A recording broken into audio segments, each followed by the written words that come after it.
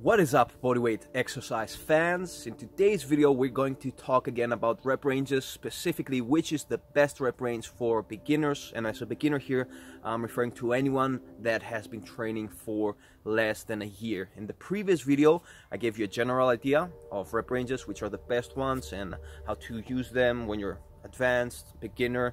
Uh, today we're going to talk a little bit more specifically and see how all these information applies especially to bodyweight training. The best rep range to focus on as a beginner is the 6 within 12 rep range. Now this is, if you had to pick basically one rep range, this would be it. It has an ideal ratio of high intensity and metabolic stress, two of the most important mechanisms for muscle growth.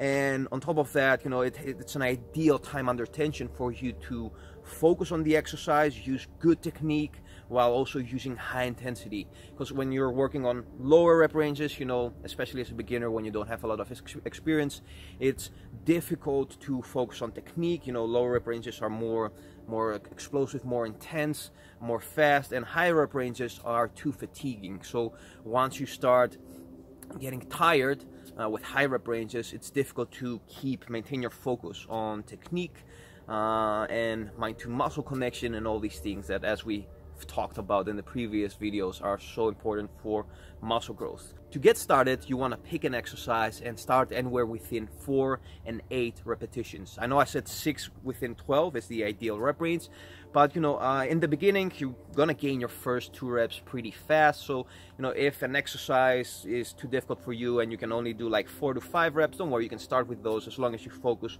on getting uh, stronger and getting to that sixth rep within one or two weeks.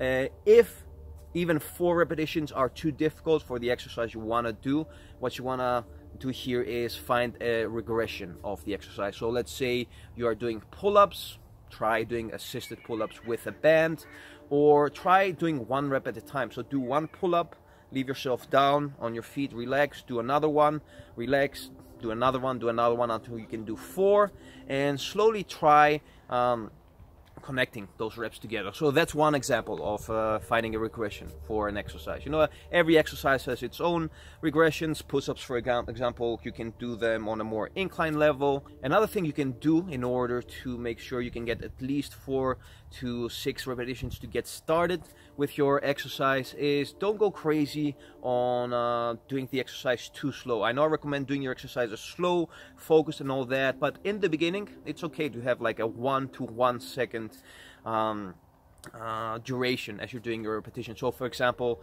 uh, when you're doing the negative phase, count one second, and when you're doing the positive phase of an exercise, count one second again. These are also called eccentric and concentric phases.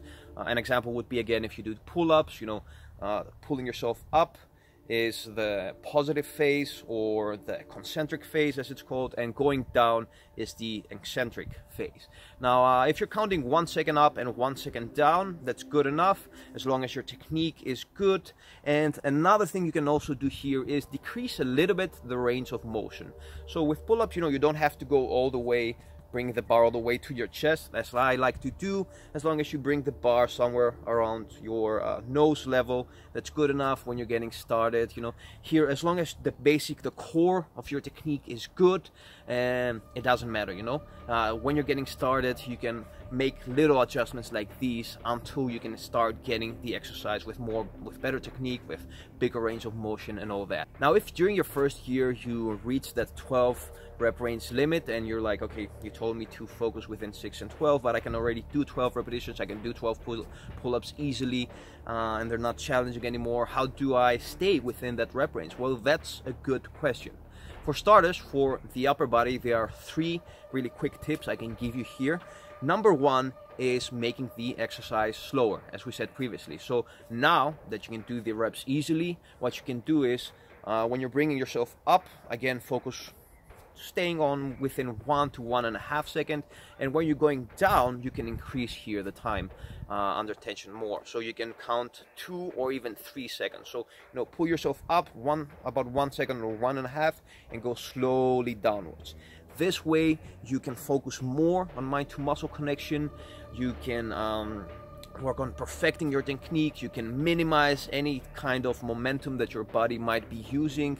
You know you you basically want to do the exercise as smooth as possible because i see a lot of people you know they go up and down and they're taking advantage a lot of their elastic or basically of the elastic um, capacity that your muscles have. So when your connective tissue when you're going down for example in a pull-up and you you go again really fast upwards it, that creates sort of like a suspension effect. So uh, all these things rob you for mind to muscle connection, muscle activation.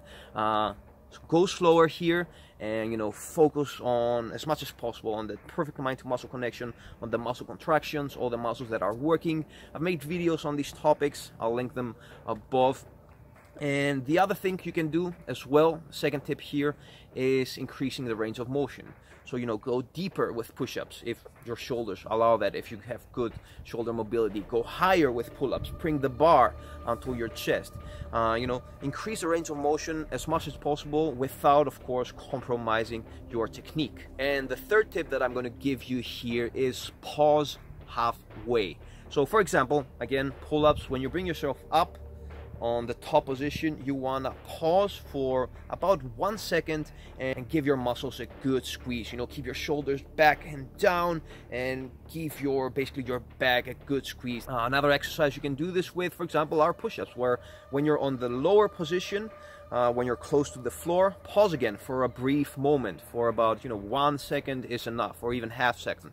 Uh, this eliminates, as we said, the suspension effect and keeps all the tension on the muscles. So these tips apply mostly on upper body exercises. For lower body exercises, what you can do is slowly add plyometric exercises. So, you know, add a jump to your exercise. I talked about this in detail in the lower body exercise that I just did. And Damn, that's noisy. Back to our topic. So you can add a jump. You can um, make that jump higher. So you know if you're if you're already doing plyometrics and you can do 12 reps easily, focus on getting as high of a jump as possible. So those were all my tips for today. I hope they make sense for you. Ask me any extra questions that you might have in the comment section below. I always enjoy talking with you, especially during the first 48 hours of releasing a video. I make sure that I answer everybody, so make sure that you leave a comment as fast as possible. Um, check out my new book. I just released it a week ago. I'm pretty excited about it. Um, it's doing pretty well on Amazon. Uh, and until next time, keep on training.